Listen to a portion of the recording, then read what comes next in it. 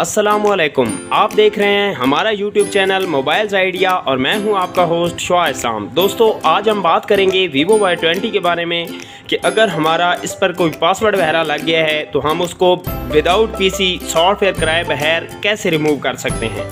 Hard reset कैसे कर सकते हैं? तो ये मेरे पास वीवो वाई ट्वेंटी है। पहले हम इसको ऑफ़ करेंगे।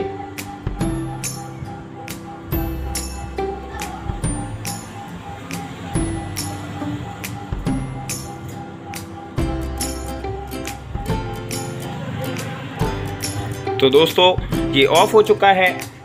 आपने करना ये है कि पावर बटन और वॉल्यूम अप की को एक साथ प्रेस करना है। प्रेस करके रखना है सॉरी